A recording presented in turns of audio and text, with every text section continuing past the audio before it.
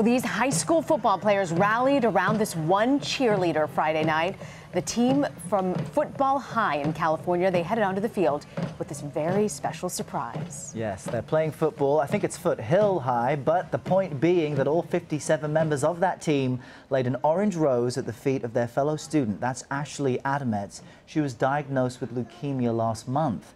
The video of this gesture has gone viral, as it should, and she took to Twitter after saying uh, the game that she was, quote, shocked, overwhelmed, and speechless.